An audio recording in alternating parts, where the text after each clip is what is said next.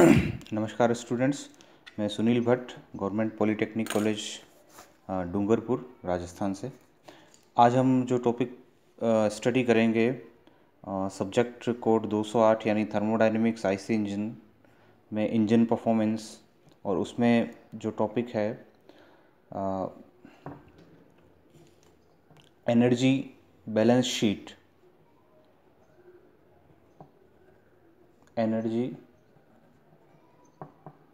balance sheet and efficiency.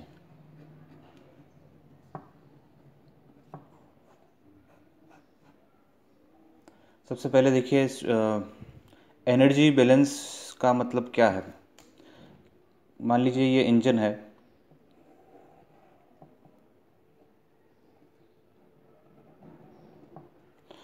इस engine में fuel burn, यानी फ्यूल का मतलब पेट्रोल या डीजल जलाने के बाद हीट यहाँ सप्लाई की जाती है। जब कंबशन होगा तो उसके अंदर हीट जनरेट होगी, वो इस इंजन के लिए इनपुट हो जाएगा। अब हीट जनरेट होने के बाद, जब इसका, वो हीट कहाँ कहाँ जाएगी तो पॉसिबिलिटी जितनी भी बनती है वो ये है कि इसका कुछ पार्ट वर्क में कन्वर्ट होगा। इस ये जो हीट सप्लाई की गई, उसका कुछ पार्ट वर्क में कन्वर्ट होगा। यानी मैकेनिकल वर्क जो भी फ्लाई व्हील पर मिलेगा, इसका कुछ पार्ट एग्जॉस्ट हीट में जाएगा, यानी साइलेंस एग्जॉस्ट सिस्टम के थ्रू जो हीट बाहर जाती है, उसमें। अगर ये इंजन के अंदर कूलिंग सिस्टम अवेलेबल है एयर कूलिंग या वाटर कूलिंग तो इसका कुछ पार्ट हीट का कूलिंग में जाएगा और बाकी बचा हुआ पार्ट इसका रेडिएशन में जाएगा। रेडिएशन का मतलब ओपन एनवायरनमेंट में जो रेडिएशन होता है किसी भी हॉट बॉडी से ओपन एनवायरनमेंट में। तो इस तरीके से जो मान लीजिए हंड्रेड यूनिट जो क्यू एस सप्लाई हुआ तो उसका जो पार्ट इन चार पाँच पैरामीटर्स में जाएगा। मैकेनिकल वर्क, जो फ्लाई व्हील पर वर्क हमें उपलब्ध होता है। एग्जॉस्ट में जो एनवायरनमेंट में वेस्ट जाती है। कूलिंग सिस्टम के थ्रू जो एनवायरनमेंट में जाती है और उसके अलावा रेडिएशन में। तो यहाँ हम कह सकते हैं कि इसको अगर मैथमेटिकली लिखना चाहें तो कुछ इस तरीके से हम लिख सकते हैं। Q supply will be equal to W plus Q exhaust plus Q cooling plus Q radiation W Q S बराबर W plus Q exhaust, plus Q cooling, plus Q radiation. ये होगा वर्क, यूज़फुल वर्क। ये होगा exhaust, जो environment में waste जाती है। यहाँ पर कूलिंग सिस्टम में कूलिंग सिस्टम से रिलेटेड हीट और ये आर का मतलब रेडिएशन।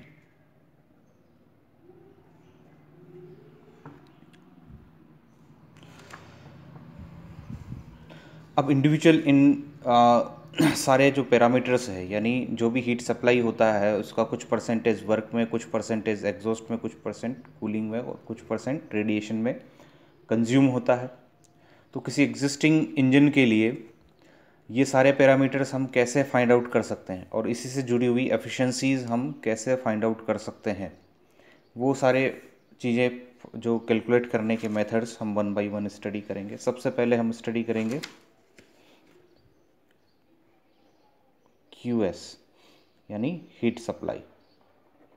किसी इंजन के लिए हीट सप्लाई कैसे मेज़र करते हैं? स्टूडेंट्स, हम ये समझते हैं कि हीट सप्लाई कहाँ से आती है? जब किसी इंजन में फ्यूल सप्लाई जाती है। जितनी फ्यूल सप्लाई होगी, जिस रेट के साथ फ्यूल सप्लाई होगी, उसी रेट के साथ उसमें हीट जनरेशन होता है। मान लीजिए, किसी पर्टिकुलर इंजन के लिए m dot will be equal to ये है फ्यूल फ्लो रेट फ्यूल का मतलब डीजल या पेट्रोल फ्यूल फ्लो रेट और सी वी सी वी का मतलब है, होता है calorific value of fuel calorific value of the fuel तो हीट सप्लाई जो होगी, उसका एक्सप्रेशन हम लिखेंगे M dot into calorific value यानी फ्यूल की मास फ्लो रेट को कैलोरीफिक वैल्यू से मल्टीप्लाई मल्टीप्लाई करेंगे तो हीट सप्लाई आएगी. नेक्स्ट पैरामीटर हम निकालेंगे वर्क डब्ल्यू अब किसी इंजन के लिए वर्क हम कैसे निकालेंगे? वर्क हम निकालेंगे फ्लाईव्हील पर। यानी फ्लाईव्हील इंजन से जुड़ा हुआ जो रोटर होगा, उस पर पावर आएगी और with the help of dynamometer हम इसको कैलकुलेट करेंगे। With the help of dynamometer हम इसको कैलकुलेट करेंगे। तो इंजन के फ्लाईव्हील पर हम रोप ब्रेक या प्रोनी ब्रेक मान लीजिए ये फ्लाई व्हील है तो यहाँ पर रोप अप्लाई करके रोप ब्रेक अप्लाई करके और यहाँ पर दो रीडिंग आ जाएगी आर वन आर टू ये मान लीजिए डायल गेज है। तो जो इसमें टॉर्क होगा torque will be equal to R one minus R two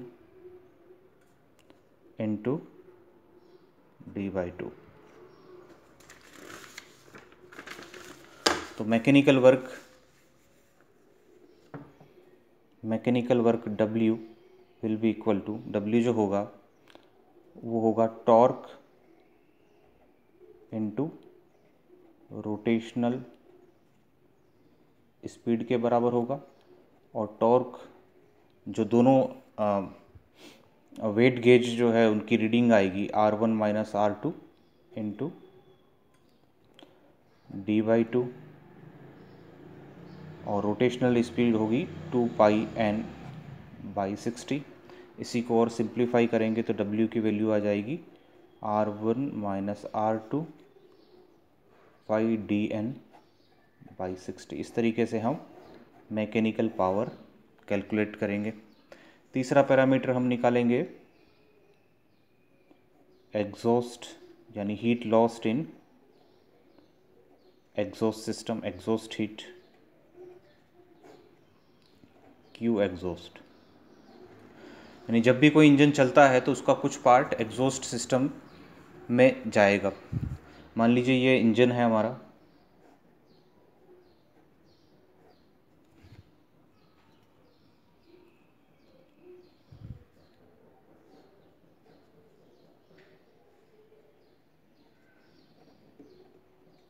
इस इंजन से जुड़ा हुआ एग्जॉस्ट सिस्टम है। इस ब्लॉक को मैं इंजन से रिप्रेजेंट इस इंजन को मैं इस ब्लॉक से रिप्रेजेंट कर रहा हूँ, एग्जॉस्ट सिस्टम को मैं इस वाले ब्लॉक से रिप्रेजेंट कर जो भी इंजन की हीट जो एनवायरनमेंट में रिलीज़ होगी, जो वेस्ट जाने वाली हीट वो इस एग्जॉस्ट सिस्टम के थ्रू जाएगी। इसकी हीट को अगर हम मेज़र करना चाहते हैं तो हम इस हीट को इससे इस जो एग्जॉस्ट स्मोक में जाने वाली हीट को हम हीट को हम ट्रांसफ़र करेंगे एक दूसरे वाटर सप्लाई सिस्टम में। और उस वाटर सप्लाई सिस्टम में जो हीट रिसीव होगी, वो इस एग्जॉस्ट से जाने वाली हीट के बराबर होगी। तो इसके थ्रू हम एक हीट एक्सचेंजर के थ्रू हम वाटर सर्कुलेट करेंगे। ये इनलेट हो जाएगा, ये आउटलेट हो जाएगा।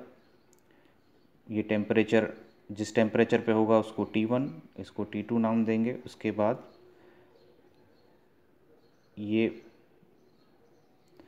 एम डॉट वाटर सप्लाई की जो रेट होगी इस हीट एक्सचेंजर के थ्रू तो heat supply by exhaust equal to जो इक्वेशन हम यहाँ यूज़ करेंगे exhaust heat will be equal to heat received exhaust heat will be equal to heat received by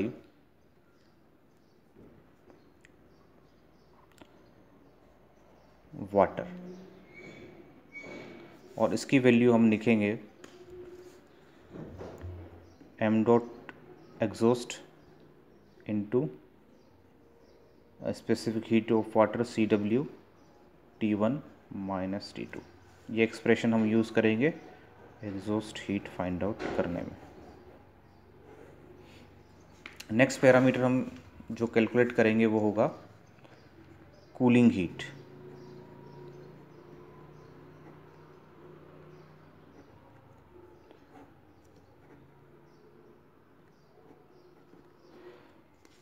cooling का मतलब होता है कि इंजन ओवर टेम्परेचर ना हो जाए, यानी इंजन का टेम्परेचर ज़रूरत से ज़्यादा ना चला जाए उसको बचाने के लिए एक कूलिंग सर्कुलेट एक कूलिंग सब्सटेंस का सर्कुलेशन किया जाता है।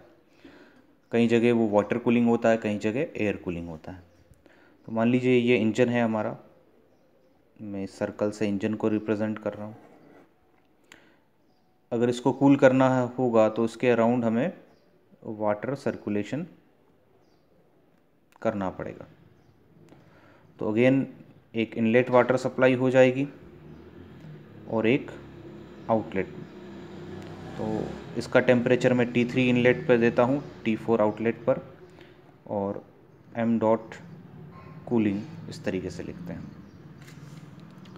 तो इस केस में जो इक्वेशन बनेगी, जो एक्सप्रेशन बनेगा, वो कुछ इस प्रकार से होगा।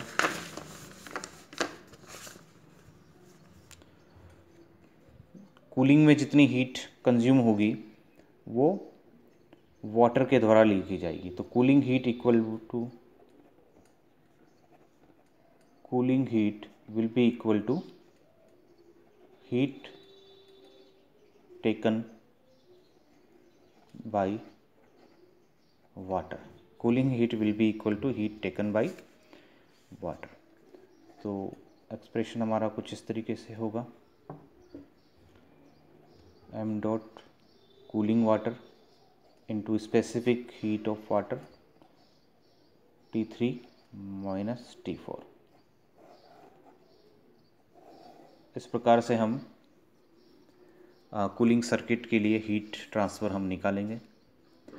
अब यहाँ पर हम देखते हैं कि जो हीट सप्लाई हुआ, उसका कुछ पार्ट कूलिंग में गया, कुछ पार्ट एग्जॉस्ट में गया, कुछ पार्ट मैकेनिकल वर्क में गया। तो बचा हुआ पार्ट कहाँ जाएगा? हीट का कुछ परसेंटेज बचेगा, वो रेडिएशन में जाएगा। यानी इंजन जो कि एक हॉट बॉडी होता है तो अपने चारों तरफ़ इंजन जो कि एक हॉट बॉडी होता है, वो अपने चारों तरफ़ रेडिएट करता है हीट और ये हीट कहलाएगी क्यू आर रेडिएशन तो इसको फाइंड आउट करने के लिए कोई एक्सप्रेशन यहाँ पर अवेलेबल नहीं है तो हम इसको क्या करेंगे? क्योंकि जो हीट सप्लाई हुआ, उसका जितना भी पार्ट कूलिंग एग्जॉस्ट और मैकेनिकल वर्क में कंज्यूम होता है इसके अलावा जो बचा हुआ पार्ट होगा, वो रेडिएशन में माना जाएगा। तो Q R will be equal to Q S minus Q exhaust minus Q cooling minus work इस एक्सप्रेशन से हम रेडिएशन हीट कैलकुलेट करेंगे। तो किसी भी एग्जिस्टिंग इंजन के लिए ये सारी चीज़ें निकालना कहलाता है हीट बैलेंस अब इससे जुड़ी हुई कुछ एफिशिएंसीज जो होती है, उसे देखिए।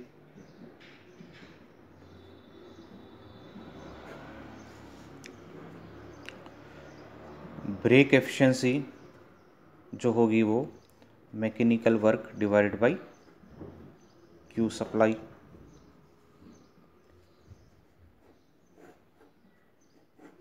ये ब्रेक थर्मल एफिशिएंसी होगी और यही जितना परसेंटेज कूलिंग का या एग्जॉस्ट का या रेडिएशन का कम होगा, उतना वर्क में कंट्रीब्यूशन ज़्यादा होगा। वर्क में कंट्रीब्यूशन ज़्यादा होगा तो हमारी एफिशिएंसी बढ़ करके आएगी। Thank you